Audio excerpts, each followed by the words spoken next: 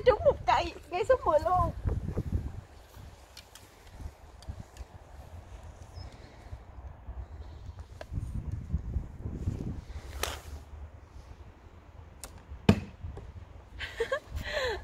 Xin chào các bạn. Mình tên là Linh. Mình sinh sống, học tập và làm việc ở Hà Lan. Chào mừng các bạn đến với kênh Linh in the Netherlands. Các bạn đoán xem hôm nay Linh sẽ nói về đề tài gì? Đó chính là à, các môn thể thao. Người Hà Lan rất là quan tâm đến vấn đề sức khỏe à, Vì một có một sức khỏe tốt thì mới có một tinh thần tốt Nhất là cho trẻ con á. Vào mùa đông á, thì à, trẻ con ít có ra ngoài chơi giống như là vào những cái mùa mát mẻ cho nên um, người Hà Lan muốn con của mình hoạt động nhiều và vẫn duy duy trì cho thể thao. Cho nên họ có những môn uh, uh, thể thao để chơi trong nhà đó. Các bạn biết á, Linh chơi cái môn này bao lâu rồi không? Khoảng 2 tháng trước là Linh mới bắt đầu thôi. Thực ra là Linh chơi được rất là nhiều các môn thể thao khác nhau nhưng mà không có một môn nào đặc sắc hết á. Trong clip các bạn coi đi các bạn sẽ thấy cái môn mà linh chơi rất là dở là môn nào nha? Nhớ đừng có cười ha cái tên của cái khu này là Eat and So nghĩa là Eat and etc nó là ăn và vân vân. À, ở đây mình có thể ăn uống và vui chơi. Hôm nay tụi linh dắt con tôi lên tới đây là chơi bowling. Bowling thì không có gì lạ đúng không? Nhưng mà tụi linh muốn dắt con đi chơi để cho nó thay đổi không khí gì đó. À, một tiếng ở đây là 26 euro 50 cent. Tụi linh mướn một tiếng rưỡi cho hai cái làng của nó đó là tổng cộng là gần 80 euro. Ừ, rồi à, à, mình cứ cho tụi nó chơi thoải mái nên tụi nó muốn thảy cái gì thảy để cho tụi nó tiêu hao năng lượng của tụi nó đó. Chứ không thôi á về nhà tụi nó quậy mệt lắm luôn á. Nó đòi cái này cái kia. Mặc dù là ở nhà nó có thể nó ngồi nó vẽ nhưng mà một chút xíu rồi nó cũng sẽ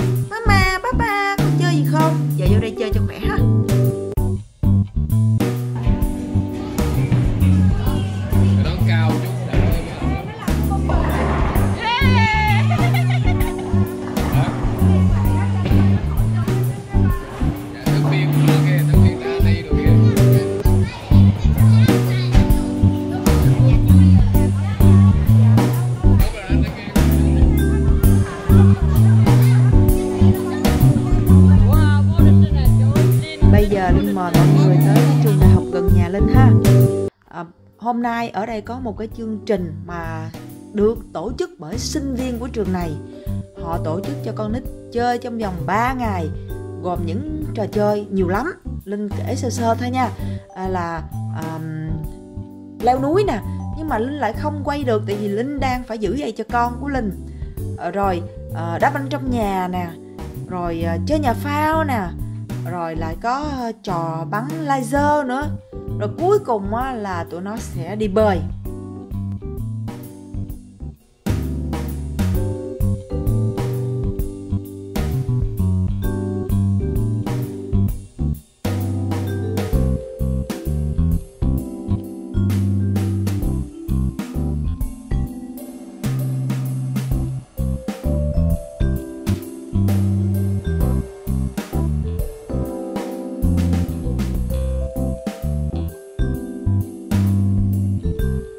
Bây giờ mình đi trượt băng đi ha.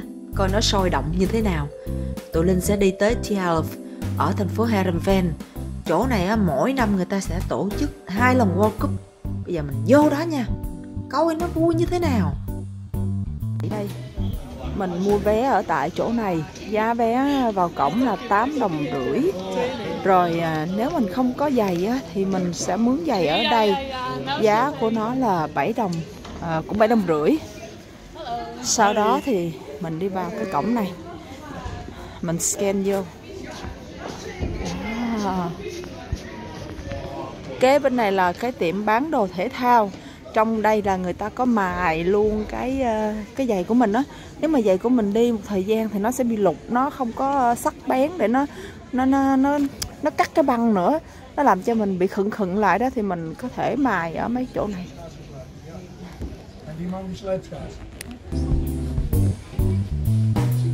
Thank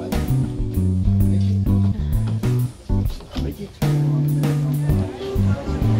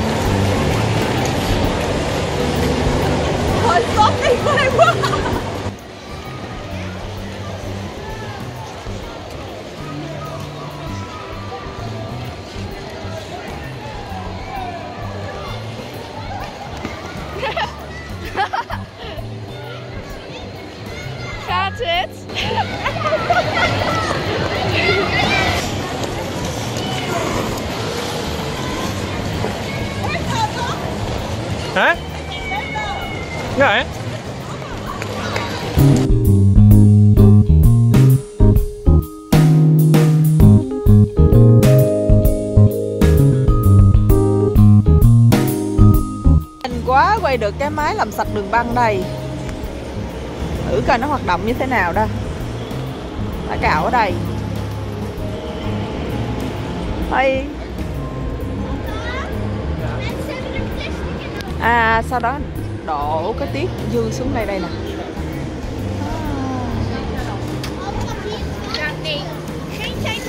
Om te gaan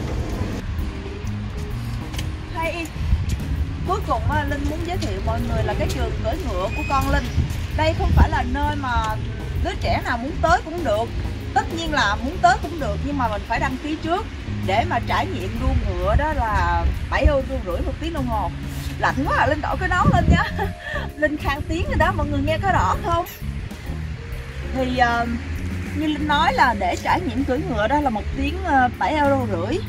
Nhưng mà con linh trả một ờ, con linh lại đi học một tuần một lần một tiếng đồng hồ là 15 euro. Nó cũng phải đăng ký và chờ rất là lâu mới có được uh, uh, tham gia cái cái cái khóa này. Đây không phải là môn thể thao mùa đông nhưng mà vì sẵn giới thiệu cái uh, môn thể thao mùa đông ở Hà Lan thì Linh cũng muốn giới thiệu về cái trường đua ngựa cái trường dạy cưỡi ngựa của con Linh cho mọi người nghe Đây. luôn. nó cũng rộng lắm đó. Mọi người xem thử nha. Bây giờ à, Linh đi vô đây. Ôi Linh vô trễ rồi. Con Linh nó đã lên ngựa. À, các bạn nhìn đi. Ngựa đây rất là cao và to nhìn hùng vĩ hả? À, ở đây có cái giống ngựa lùn nữa nhưng mà hiện tại trong cái lớp học này á, thì Linh chỉ thấy một con ngựa nhỏ nhỏ thôi chứ không không có thấy giống ngựa lùn nếu sau này gặp Linh sẽ quay cho mọi người coi ha. À, người giáo viên đang hướng dẫn á là thầy giáo. Nhưng mà có tình nguyện viên hỗ trợ thầy nữa. Đó là những em học sinh đã học cưỡi ngựa ở đây nhưng à, mấy bạn ấy rất là thích chăm sóc ngựa và hỗ trợ các em nhỏ thì các em sẽ ở lại và hỗ trợ thầy.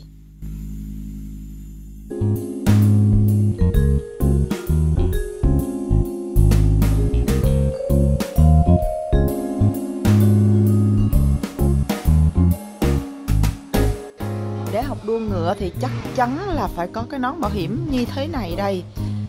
Mà những cái nón này á, thì ờ, cho mấy đứa trẻ mà đứa nào bỏ quên thôi. Chứ con linh á, thì nó có cái nón riêng của nó đây nó khỏe đây rồi cả những đôi giày bót để mang để cưỡi ngựa nữa. Còn linh nó cũng muốn khoe đây đây là cái quần đặc biệt để cưỡi ngựa đó mặc để cưỡi ngựa nhưng mà thôi linh không có quay đâu. Đây và đây là cái cây để mà mình ờ, à, vỗ vỗ nhẹ nhẹ vào con ngựa đó. Đừng đánh mạnh quá nha. Tội nghiệp con ngựa lắm á. À, và đây là những cái chuồng để nhốt ngựa. Mình nó không cần phải à, mua ngựa riêng đâu. Mình cứ à, à, đến đây là có ngựa cho mình cưỡi nhưng mà nếu mình mua riêng thì cũng được. Thật ra một con ngựa ở đây thì cũng không phải là quá mắc. Nhưng mà cái chi phí chăm sóc và uh, bảo dưỡng rồi uh, ở nhà thì mình không có thể nào mà mình chứa một cái con ngựa trong nhà được thì mình phải thuê những cái chuồng như vậy nè để uh, uh, mà cho nó nó nó nó nó ở. Cực lắm. Linh linh không hỏi là giá của nó là bao nhiêu nhưng mà uh, trước đây má ba má chồng của linh có chăm sóc ngựa của mấy cô em chồng á thì rất là cực. Tại vì nhìn đi mọi người nhìn nè trời mưa mịt mù ở ngoài như vậy nè.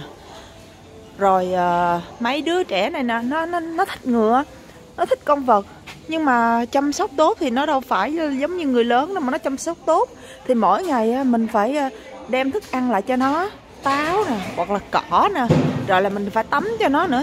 Trời ơi bởi vậy á con linh nó đòi mua con ngựa là linh say no no no liền không bao giờ mua.